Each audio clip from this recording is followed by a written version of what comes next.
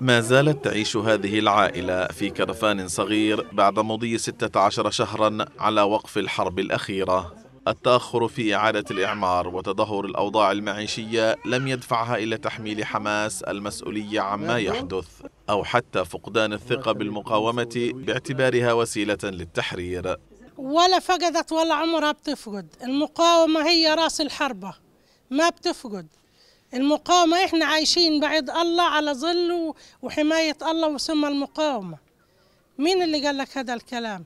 ما فيش منه لأنه المقاومة لأي عدوان إسرائيلي لحتى كمان الآن الشعبية زادت تبعتها بالنسبة للمقاومة زادت شعبيتها بل أكثر. إذا الإعمار طول أكثر من هيك حتفقد إما هي ما بتفقدش لسه. الأساس الناس صابرة على أساس إنه يصير لها إعمار. فطولت الإشي ما فيش ما عملوش حلول الاعمار هذا انه الناس ترجع لبيوتهم. فهي حتخسر جزء من الإشي هذا. فنطلب منهم إنهم يعني يعملوا حلول ويتنازلوا لهم شوية بالمعقول حتى تتعمر الدور هذه وتتم الشعبية وتتم ثقتهم زي ما هي في مكانها.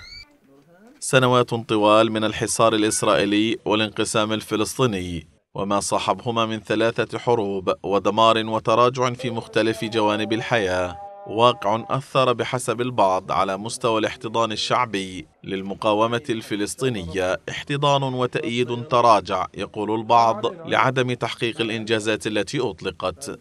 لا نستطيع أن نقول أنها فقدت ولكن نقول أنها تراجعت شعبية المقاومة في قطاع غزة.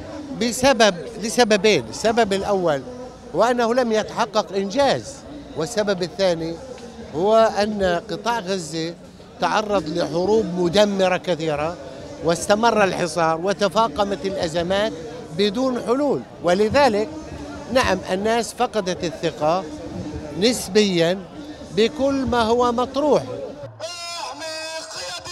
مراقبون يعتبرون أن حماس ومعها المقاومة تأبى الإقرار بتراجع شعبيتها في ظل الظروف المأساوية التي وصلت إليها غزة خلال عهدها. عهد تقول الحركة إنه شهد نقلة نوعية على صعيد المقاومة والحكم ما يؤهلها إلى توسيع شعبيتها وليس العكس. الشعب الفلسطيني يرى أن المقاومة هي التي حررت قطاع غزة المقاومة هي التي حررت 1057 من أبناء الشعب الفلسطيني. المقاومة هي التي ستحرر كل الأرض بإذن الله تعالى. لذلك أنا أقول كل شرفاء الشعب الفلسطيني وكل أحرار العالم يقفون مع هذه المقاومة الفلسطينية. رغم ذلك الوقائع تكشف عن تراجع في التأييد لكل الأطراف على الساحة الفلسطينية. تراجع لن يتغير إلا بالمواءمة بين مختلف البرامج السياسية المطروحة. للخروج بالقضية الفلسطينية من شرنقة الانهيار المتواصل. لتلفزيون القدس محمد الأسطل قطاع غزة.